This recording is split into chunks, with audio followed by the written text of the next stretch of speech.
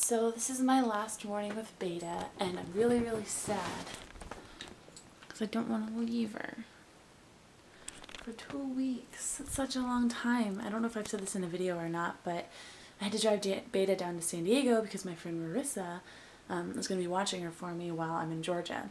I found out like two weeks ago or something that there wasn't room for Beta on my flight back uh, from Georgia. I freaked out because I didn't know what to do with her because I wasn't going to leave her in a kennel for two weeks and I didn't and all my friends were going to be out of town uh, so they couldn't watch her. So luckily my friend Marissa said she would watch her uh, while I'm in Georgia.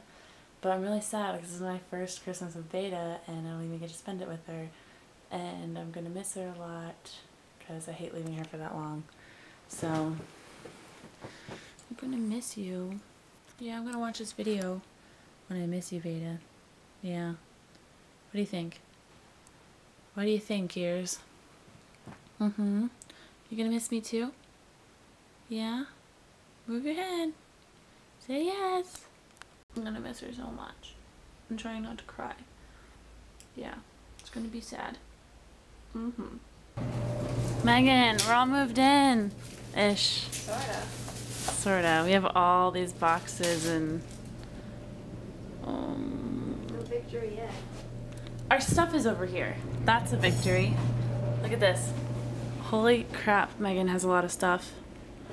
How does one little birdie accumulate so much stuff?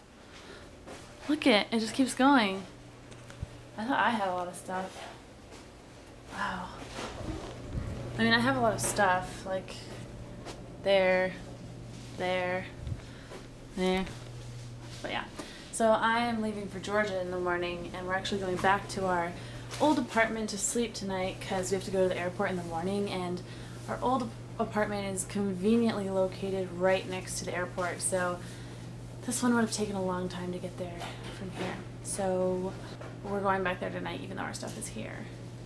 So we're sleeping on air mattresses and roughing it for a night. I say roughing it, it'll still be an apartment with heat and comfort so I take that back.